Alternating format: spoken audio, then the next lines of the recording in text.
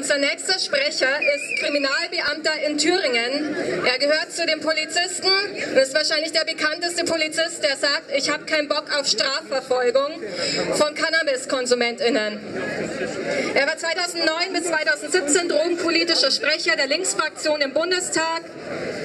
Er ist Gründungsmitglied und Vorstandsmitglied bei LEAP, Law Enforcement Against Prohibition, und er ist der Preisträger des ersten Hanfadlers 2017 für seine außerordentliche Aktivität als Politiker. Willkommen, Frank Tempel.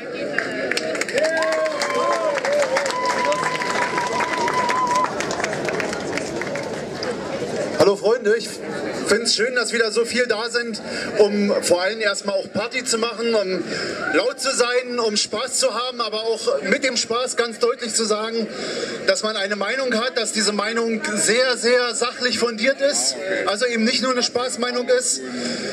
Aber lasst mich äh, ein anderes Thema vorher noch ansprechen. In den letzten 24 Stunden haben mich auf diesem Social Media Ding mit den blauen Farben allein sieben Leute angeschrieben, die gesagt haben, bitte sagt vorher noch etwas zu uns. Und das sind Menschen, die Cannabis nicht um Party machen oder um zu chillen brauchen, sondern die Cannabis medizinisch brauchen. Und nun ist es ja auch noch zu meiner Zeit im Bundestag gelungen, ein Gesetz zu verabschieden. An meinem, Bund, an meinem Geburtstag hat man das verabschiedet, fand ich ein wunderschönes Abschiedsgeschenk, das die medizinische Verwendung von Cannabis erleichtern soll. Seitdem hat sich an diesem Gesetz aber bisher nichts getan. Und mit nichts getan meine ich leider auch, dass sich die Fortbildung bei Gerichten, bei Polizisten nicht überall gleich entwickelt hat. Also aus Berlin habe ich da noch nicht viel Klagen gehört seitens der Polizei, mag es aber auch geben. Aber von den sieben Leuten, die mich angeschrieben haben in den letzten 24 Stunden, waren vier allein aus Bayern. Einer davon lebt mittlerweile in Spanien. Er ist, bezeichnet sich als Flüchtling vor der Drogenprohibition in Deutschland, ist medizinischer Verwender. In 17 Monaten allein 10 Kontrollen, drei Strafbefehle und mehrere Geldbußen. Führerschein weg, keine Möglichkeit dadurch eine Arbeit aufzunehmen, kriminalisiert als Patient, der mit Cannabis therapiert wird.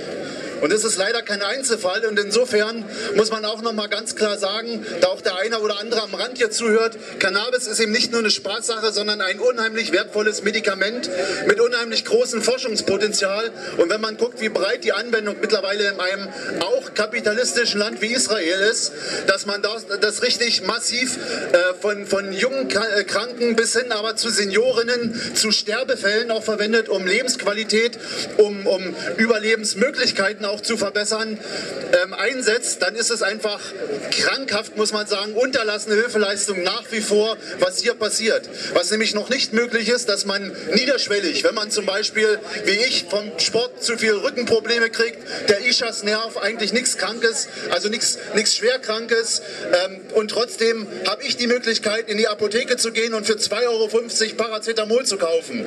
Ich bin aber nicht chronisch schwer krank genug, um zu sagen, ich will diese Pillen nicht, ich möchte zu einem fachkundigen Menschen gehen, der mir sagen kann, wie ich mit äh, Cannabis-bezogenen Medikamenten entsprechend mich therapieren kann, weil ich genau diese bunten Pillen von Ibuprofen, Gelonida und wie sie alle heißen, einfach nicht will. Ich möchte eine Pflanze nutzen können, eine natürliche Pflanze, um mich medizinisch zu therapieren. Und deswegen ist dieses Thema mindestens ebenso wichtig wie der freie Konsum. Es hängt aber miteinander zusammen. Momentan, momentan ist es zumindest sehr vielen Menschen mehr möglich, auf Cannabisbasis therapiert zu werden. Die Zulassungen steigen. Es sind übrigens nicht nur die bösen Krankenkassen, äh, die da irgendwo dahinter stehen. Es sind in allererster Linie natürlich die pharmazeutischen Hersteller, die geradezu einen Feldzug gegen das Medikament Cannabis herstellen. Also ich habe mich mit mehreren Ärzten unterhalten, die auf Lehrgängen und Seminaren deutlich abgeraten bekommen, Cannabis als Medizin einzusetzen, weil ja die anderen Medizinsachen, so wie Morphium und so, ja viel harmloser und, und besser therapierbar sind, besser dosierbar sind. Ähm, es ist Schwachsinn. Meine Oma wird mit Morphium behandelt und ist schwer suchtkrank. Das merkt man, wenn man sie besucht, dann weiß ich genau, ist das Pflaster da hinten frisch oder nicht, weil die Entzugserscheinungen sehr schnell zuschlagen. Also wie gesagt, das Thema bei aller Party immer mit auf dem Schirm haben. Und wenn ihr mit Leuten redet, das ist ja auch der Zweck hier, wir werden nachher durch Berlin ziehen, wir werden gucken, wen wir treffen. Viele Leute reagieren immer sehr positiv auf die Hanfparade. Das liegt auch daran, dass die Musik manchmal gar nicht so schlecht schlecht ist äh, und insofern auch viele Leute am Rand einfach mittanzen. Man kann mit den Leuten auch tatsächlich reden und sagen, Leute, bei einem Spaß hier, vergesst nicht, da gibt es Leute, die brauchen das lebensnotwendig, um halbwegs eine Lebensqualität haben. Und wenn wir uns die aktuelle politische Aktion angucken, dann muss ich ehrlich sagen, ich war acht Jahre in der Politik und ich habe da auch noch nicht ganz aufgegeben, äh, das auch weiter zu verfolgen. Ich mache das auch mit Lieb Deutschland, also den Gesetzeshütern gegen die Drogenprohibition weiter. Ich habe die Nase voll von Schaufensteranträgen. Also wenn dann wieder kommt, die FDP möchte jetzt in Mecklenburg äh, Cannabis-Modellprojekte äh, haben, dann ist das schön.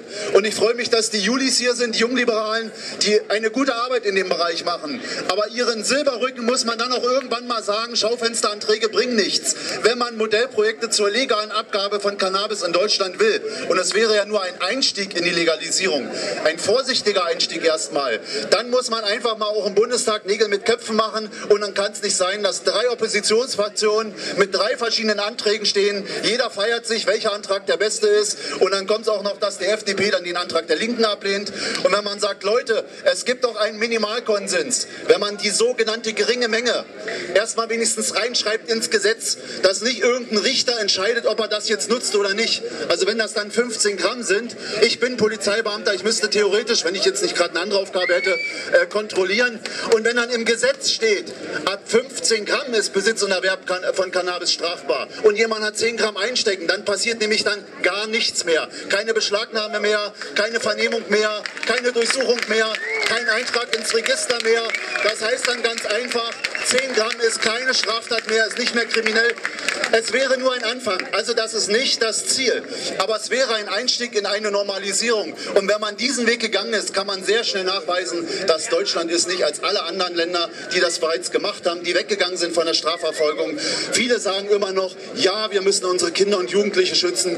Wenn selbst in einem so schwer kommerziellen äh, Legalisierungsmodell wie in Colorado der Konsum von Kindern und Jugendlichen an Cannabis nicht zunimmt, sondern eher zurückgeht, da muss man auch bei uns hierzulande wirklich mal überlegen, ob wirklich Prohibition das ist, was unsere Kinder schützt. Ich sage ganz deutlich, weil gerade, und das weiß ich als Kriminalbeamter, Kindern und Jugendlichen, wenn sie den ersten Schritt gegangen sind, den ersten Kontakt haben, der, der der Markt so leicht zugänglich ist wie in keinem anderen Modell. Also selbst bei sehr schwach sehr schwachen Jugendschutzkonzepten wie in Holland mit diesen Coffeeshops ist Jugendschutz immer noch besser als unter der Prohibition in Deutschland. In sowas, gerade wem die Kinder und Jugendlichen am Herzen liegen, der muss von dieser Prohibition wegkommen.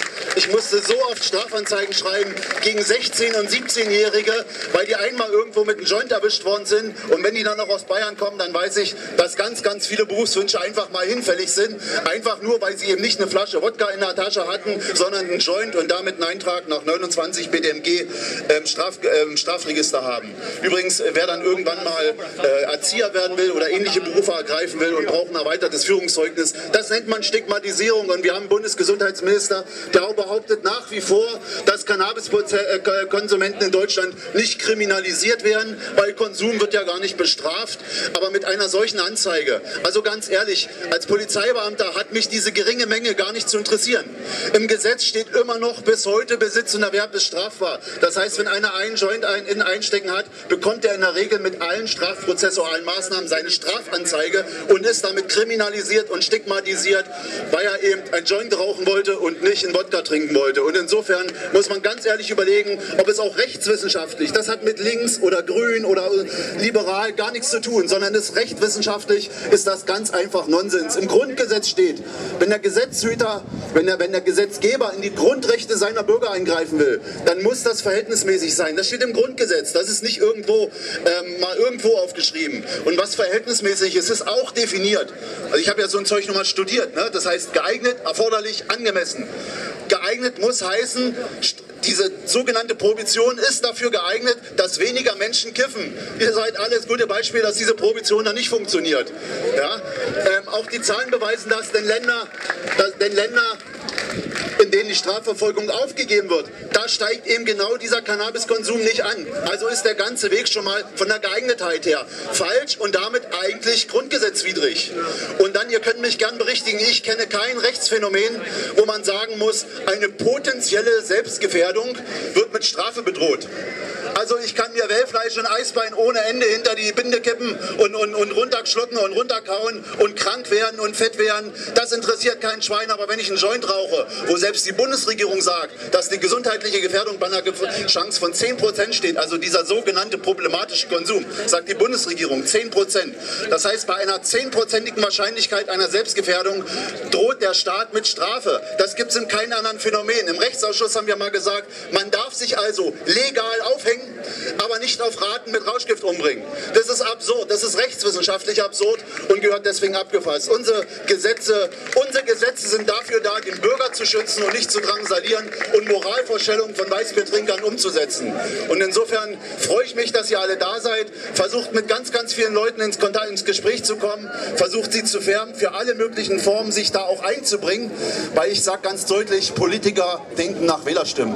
Und wenn man hört, dass man nicht mehr um Asyl und sonst irgendwas diskutieren muss, sondern dass Cannabis für ganz viele Menschen ein wichtiges Thema ist, was ihnen auch ermöglicht zu entscheiden, wen sie eben nicht mehr wählen, nicht mehr die Mordlast dieser Welt und alle anderen, sondern dass sie sagen, ich wähle nur noch den, der sich wirklich auch ans Grundgesetz hält und mich als Cannabiskonsument, der ich ja nicht bin, ich will zwar irgendwann medizinisch werden, ähm, aber dass man, dass man dann auch entsprechend nach dem Grundgesetz in diesem Land leben kann, ohne Schikanen ausgesetzt werden. Insofern viel Spaß und noch ein gutes Kämpfen heute.